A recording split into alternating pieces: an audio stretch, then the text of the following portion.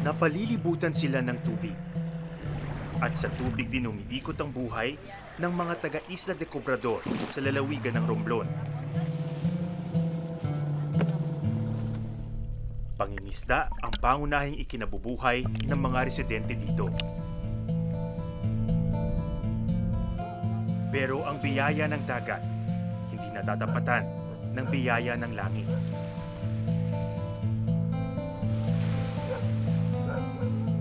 Mahigit tatlong buwan na kasing hindi umuulan sa maliit na pulo.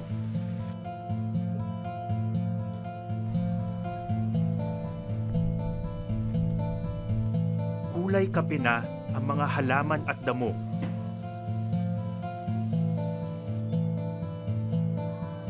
Tuyo na ang mga imbaka ng tubig.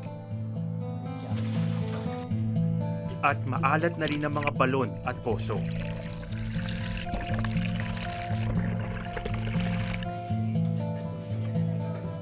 Mga residente, nagtsatsaga, nagtitiis, at uhaw na uhaw sa pagbabago.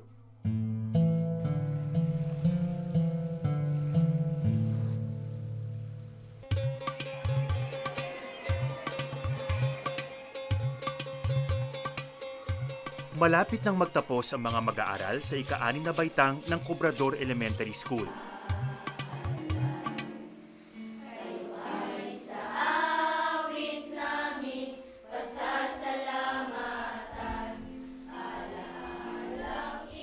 Isang linggo bago ang kanilang graduation, wala ng mga klase. Puspusan na kasi ang practice sa programa.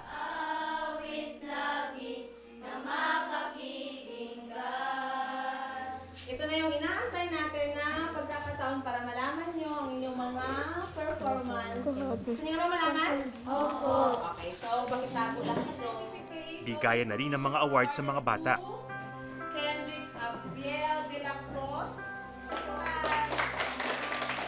Nakakuha ng gradong 95% ang valedictorian ng klase. With the recognition is awarded to Claire F. Balasta with average of 95% with high honors. Average of 90 Hindi yon ang 12 anyos na si Joy. Medyo nahuhuli siya sa kanyang mga kaklase. Pero perfect naman ang kanyang attendance.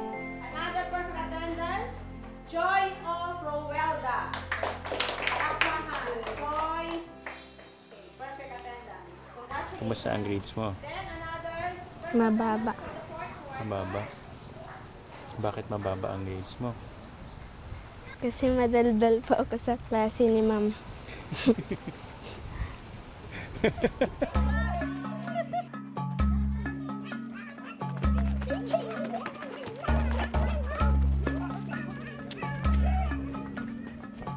Bandang hapon, uwian na.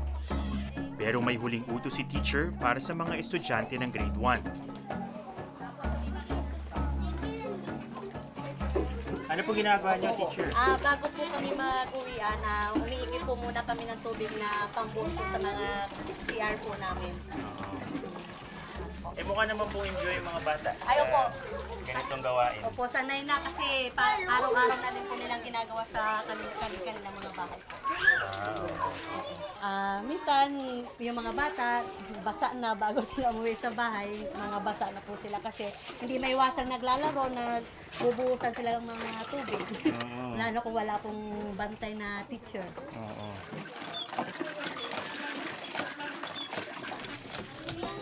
Yung tubig ko hindi ganun kalinaw, ano? Kaya nga po, talagang pambuhos lang po talaga ng ng CR yan, sir. Oo. hindi talaga pwede. Kahit nga sa halaman, hindi namin mapakinabangan kasi maalat. Walang ba?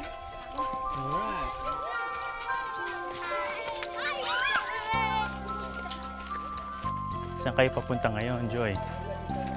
Saan kayo pumunta?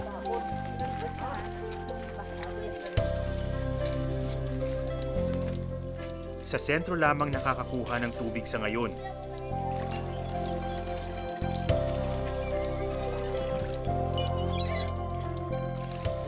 Kaya bago umuwi, nag-iigib muna ang mga bata para may magamit sa kanika nilang mga tahanan.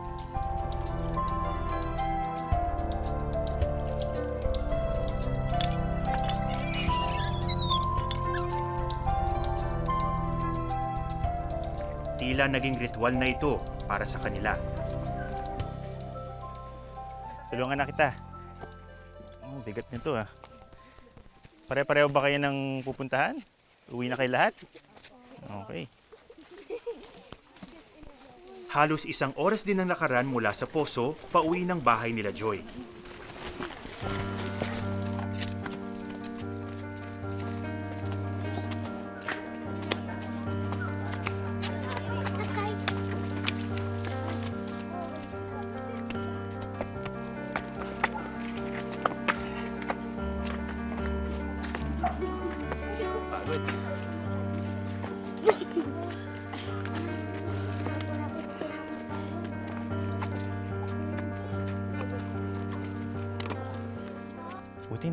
Napapagod sa ganito. Paakit pa naman, papunta sa inyo.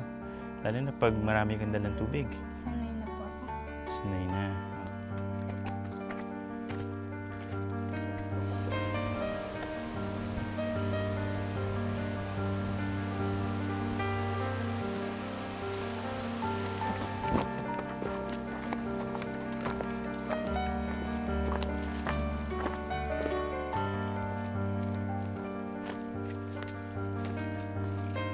May sariling tangke sila sa labas ng kanilang bahay. Bigay ito ng isang NGO at nagsisilbing imbakan ng tubig ulan.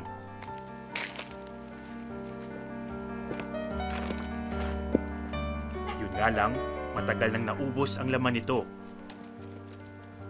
Kaya napipilitang gumasto sila Joy para sa malinis na tubig.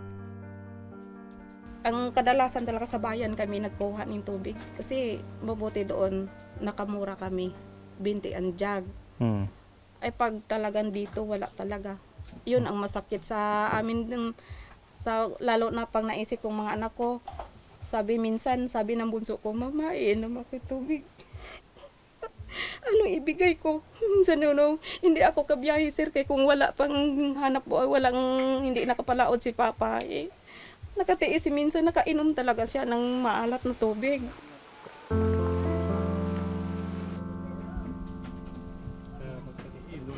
Lilibot ang bata.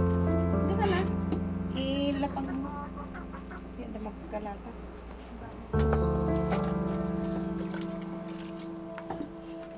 Namiss ko ang kuya mo. Ay, Siya magkakakuha ng tubig para dili sa bayay. Ilan po ang anak ninyo? 11 po. 11? Oo. Tapos, yung anak ko, sir, sa hirap ng talaga namin mag-asawa, walang nakatapos kahit isang high school. Hmm. hanggang yung isa, pinaaral namin. Sabi na, siguro naintindihan na niya na kami nga mag-asawa ay mahirap lang walang hanap buhay masyado. Sabi niya, titigil na lang ako ma. Ang anak ko, wala naman makakatapos sa kanila. Ang gusto lang, ang gusto ko sana sir, maka, may makatapos man sa kanila kahit isa man lang. Kaya sabi ko kay Joy, Joy kahit kahit mahirap lang tayo, nagsabi ko sa kanya, mag-aral ka ng mabuti. Kasi po si, si Joy po ay gagraduate na ng grade 6, di po ba? Mm-mm. Ano po ba ang plano ninyo sa Ka- ang- education niya? Ang plano ko sa kanya sa amin eh, sa, sa amin mag-asawa ipatuloy ko ipatuloy namin sa pa high school. Ano pong pakaramdam nyo na mahihiwalay muna sa inyo si Joy dahil mag-aaral sa mas malaking eskwelahan? Siyempre sir masakit din na sa amin ni nanay. First time pa na siya mahiwalay sa amin.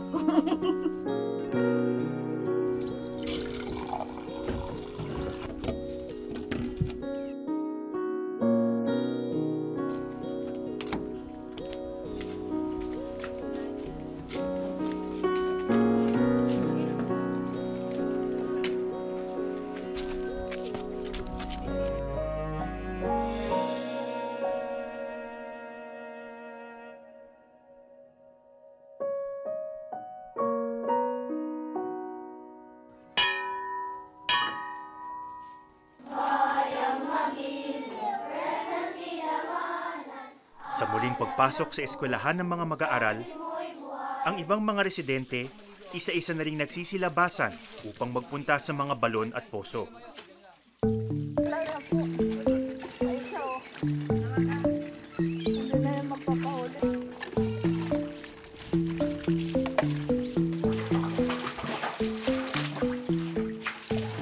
Hindi nag-check ng attendance dito. Pero wala pa rin uma-absent. Si Mang Juan de la Cruz, ang punong barangay sa Cobrador. Ano po itong balon na to, Tay? ay panahon pa, ay hindi pa po ako pinanganak, balo na po ito. Ah, so kahit po nung bata kayo, dito na rin kayo Opo, kumukuha ng dito po. tubig. Ano po yung gamit sa tubig dito sa balon? Dati po iniinom namin ito. Mm. Tapos ngayon, ah, dito na rin naglalaba, dito rin naliligo ang mga tao. Oo. Mula, nagmumula po sila sa iba't ibang sityo o panig nitong barangay namin. Ito po ba yung ah, talagang pinakamalaking source ng water nyo dito? Ito lang po ang talagang hindi po nawawala ang tubig, Oo. itong balon na ito. Bakit po? Sa ibang mga lugar, ano po yung nangyayari Meron kapag pong- nag-uupay? Na, mayroon pong ba, ibang balon na tutuyo pag ganitong tag-init. Oo.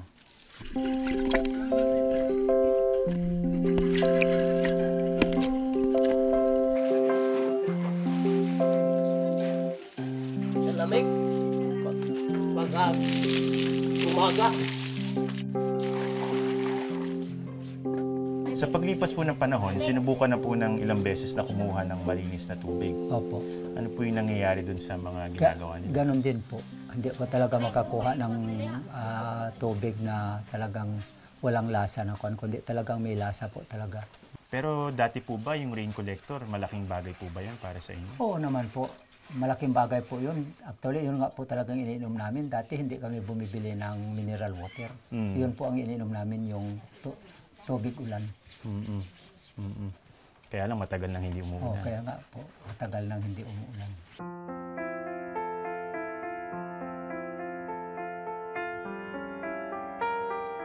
Ano po yung napapansin niyo sa paglipas ng panahon? Kamusta po yung pag-ulan dito sa inyong isla? Ah, ang napapansin ko po, eh, yung tinatawag nga po na climate change, nag-iiba po ang kanya. Hindi na po, yung ulan at saka yung init, eh, hindi na tumutugma doon sa dating nangyayari. Hmm.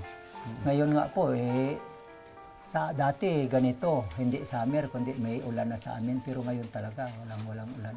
Hmm. Mm-mm. Ano po yung epekto nun sa mga... Eh, yun po ang epekto. Lalong-lalo na sa pangkabuhayan. Ay, yung mga nagtatanim po, wala na po talagang maani ngayon. Hmm. Ka- kaya dagat na lang po ngayon ang, kaya, ang pag-asa namin. Kaya kapos na kapos po talaga yung iba. Kaya nga po yung iba talaga napipilitang uminom galing dito sa balon dahil wala silang pambili ng mineral water po talaga. Yung ibibili po nila ng mineral water, ibibili na lang po nila ng bigas. Hindi po ba nagkakasakit yung mga tao minsan sa pag-inom ng tubig? Pero ang iba nga po dito dahil sa may lasa po siguro itong tubig, marami pong may sakit dito na yung kidney po. Ah, talaga? Mm. Maraming nagkukan dito na yung namamanhid yung katawan. Eh, ako nga rin po ngayon, nararamdaman ko nga po ngayon na po. Namamanhid po yung kwan ko. eh. Oo. Eh, paano po kayo? Hindi po ba kayo nag-aalala? Ay, okay lang po sa akin dahil medyo may edad na rin po ako. eh. Kung hanggang saan lang po ang ibibigay sa akin ni God na Huwag po kayong magloloko ng ganyan. Kailangan po kayo dito sa inyong lugar. sa bagay. Oo. Bale, ilan po yung mga balon nyo dito? Apat po. Ilan din yung napapakinabangan pa? Ay, tatlo na lang po. Kasi yung isa po tuyo na. Ano po ito, Kap? Ah, ito po yung puso namin. Hmm. Isang pinagkukunan namin ng tubig. Kamusta po ang tubig dito? Ay maalat po eh. Ah, so hindi po ito pwedeng pang-inom Hindi din? Pwedeng pang-inom. Panglaba po, po pwede sa kapampaligo. Oo. Yan na rin po ang Ano tingin nyo, Kap, ang solusyon dito sa inyong problema sa tubig? Yun nga po ang hindi namin na maiakwan kung ano talaga ang kailangan na kwan dito sa isla namin dahil lahat naman ng paraan sinubukan na para magkaroon kami ng magandang tubig. eh. Hmm. Wala rin halos. Mm-mm. Kamusta po yung kalidad ng tubig dito, Kap? Maalat po ito eh. Ito maalat, pero parang pwede po mahiram. Pero mas parang ano siya, mas malinaw yung tubig. Opo, malinaw nga po pero yung Pero lasa maalat. niya po. Opo. Parang tubig dagat na ito halos, no? Talagang hindi maiinom. Opo. Kalat nga.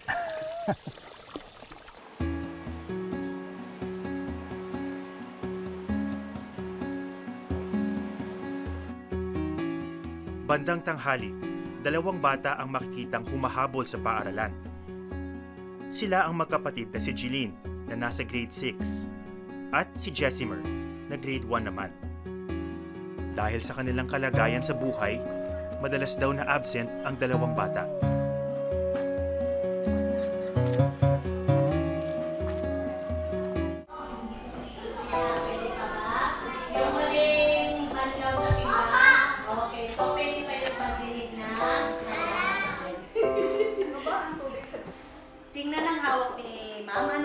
Ma'am? Tubig. So, mahalaga ba ang tubig para sa atin? Bakit kaya? Saan ba ginagamit yung tubig? Tanghali na nang pumasok sa eskwelahan ang pitong taong gulang na si Jessimer. Kasi saan pwede natin gamitin yung pinanlawan ng laman? Okay, pwede pa rin ito. Nag-igib pa kasi sila ng tubig ng kanyang ate kaninang umaga at kinailangan pang ihatid ito pabalik ng bahay. Alam na ito ng guro ng bata. Yes, ma'am. Saan kayo kumukuha ng tubig? Sa bomba. Sa bomba. So,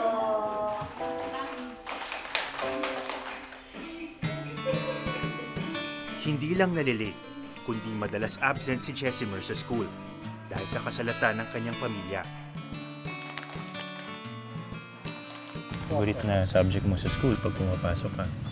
Mag-minus. Plus minus? Pa. Ah, gusto mo ba makatapos sa school? Hmm. Eh, paano yan? Madalas ka nag-absent. Oo nga. Ano ba sabi ng mama at papa mo? Gusto ba nilang makatapos kayo sa school? Hindi yan. Hindi. Bakit hindi? Ano man nasabi yan? Sabi kasi nila, mm, ning tutulong na lang daw ako sa kanila. Hmm. Hindi na daw ako mag-aaral. Okay lang ba sa'yo yan? Gusto mo mag-aaral? Apa. May mga araw ba, Jessimer, na wala kayong baon sa school? Apa. Mhm. Pag wala kayong baon, sa bahay ka na lang.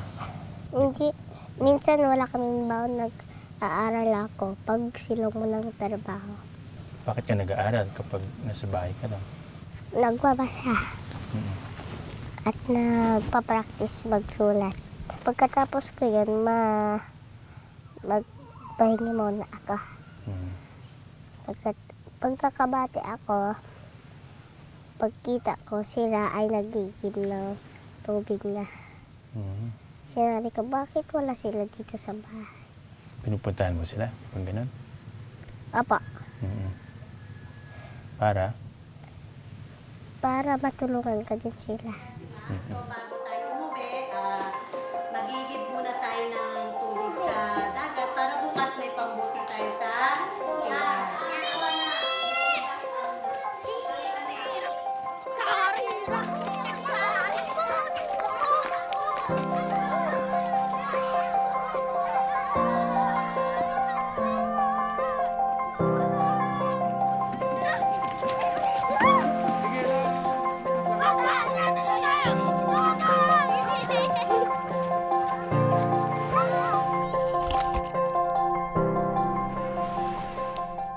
Dapat mag-iigib lang.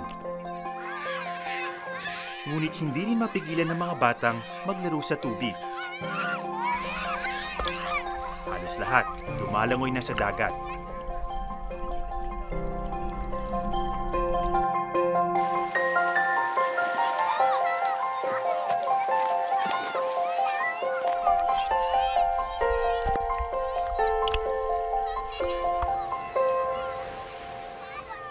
Hindi si Jessimer, na matyagang sumasalok ng tubig tulad ng utos ni teacher.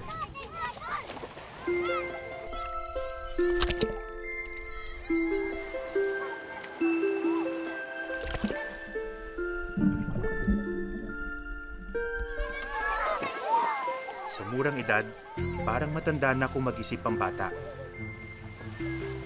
Lagi bang natutustusan yung mga pangangailangan niya? Ano yung mga mga bagay na hindi niya na kukuha dahil sa kulang yung anustos, kulang yung pera. Yung kanin, hindi namin masyado. At yung pag wala kaming ulam Hmm. Anong kinakain nyo pag ganun? nag ka, kakapi. Kape lang. Apa, Wow, buong araw kape lang iniinom mo. Hmm. Hindi ka ba nagugutom? Hindi. apa. Minsan nga pag wala kaming kape, tubig. Hmm. Kaso lang ang tubig, tubig maasin. Alat. Apa.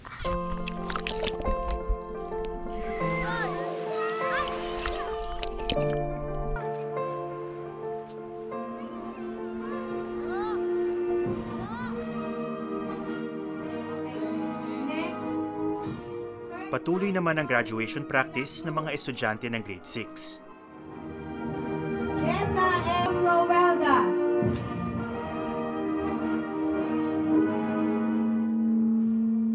Pag nagpunta ka sa school, mag-isa ka lang pupunta doon? Opo. Tapos, saan ka titira? Mag-uupa kami ng bahay. Sino ang magbabayad nung upa sa bahay? Si mama. Bakit gusto mo ipagpatuloy yung pag-aaral mo? Para matulungan ko po sila. Anong pakiramdam mo na si mama at papa nagsisikap para matapos yung pag-aaral mo? Masaya po. Yung mga iba bang nagpapaigib din sa iyo ng pagbirak? Opo. Kailan mo ginagawa yon? Pag wala pong pasok. Magkano ang binabayad nila sa iyo? 30. Bakit mo ginagawa yon? Para may pambaan po ako sa pag ma-eskwela ako. Nakakaipon ka ba? Opo. Anong pinag-iipunan mo? Anong gusto mong bilhin? Cellphone. Cellphone. Pero bakit cellphone ang ano mo? Bakit cellphone ang gusto mo? Bilhin. Para matawagan ko po yung mga kapatid ko na hindi ko po nakikita. Bago umuwi, kailangan uling magigib sa balon ng magkapatid na Jeline at Jessimer.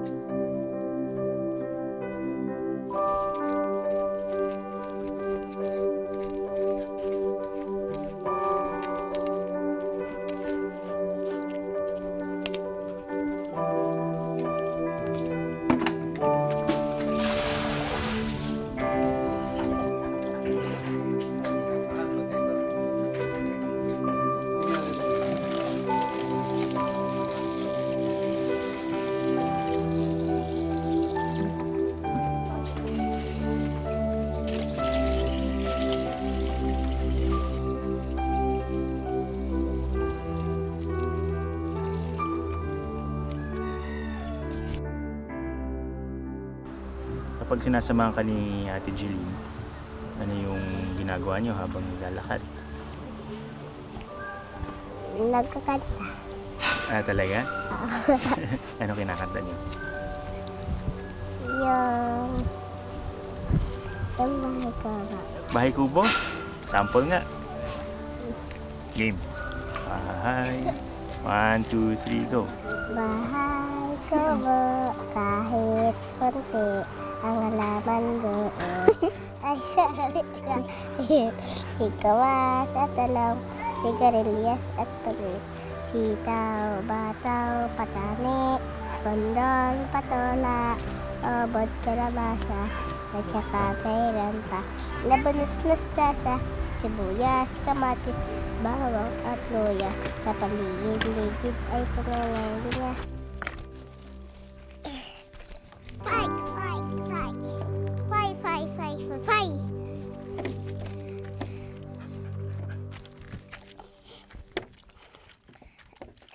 Kayo ba, Jessimer, meron kayong bahay kubo? Wala. Wala. Sa kayo nakatira? na bahay. Kamusta yung bahay ninyo? Hindi. Mapangit. Pangit ang bahay niyo. Bakit? Apa. Ano yung itsura ng bahay niyo? Sira-sira. Bakit nasira-sira? Kasi yung umagyo. Bumagyo. Papa. Mula nung bumagyo, hindi ninyo na naayos. Papa. Kasi wala kasi kaming pera pambili yung plywood.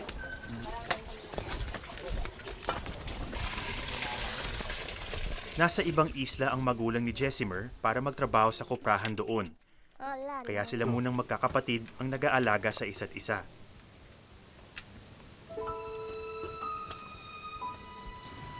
Mahirap ba ang buhay dito sa inyo? Opo. mm Nararamdaman mo yan kahit bata ka pa. Mm.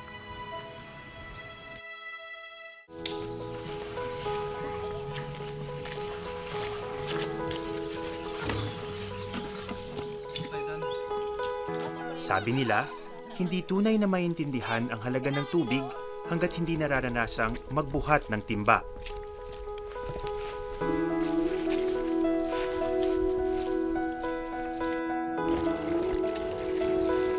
Hindi rin ganap na mauunawaan ang tamis ng bagong oportunidad hanggat hindi nararanasang maging salat sa biyaya.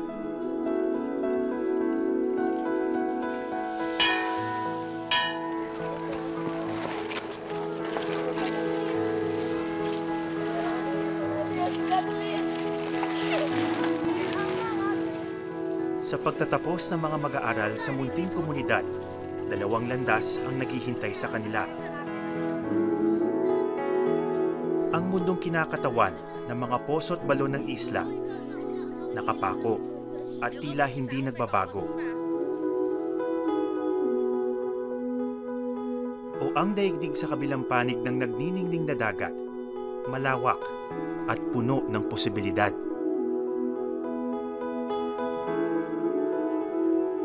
Panapanahon, may mga humahamon sa kanilang kapalaran. Naglalakas loob na sumibol sa isang lupang uhaw sa pagkakataon. Magandang gabi. Ako si Atom Araudi at ito ang Eyewitness.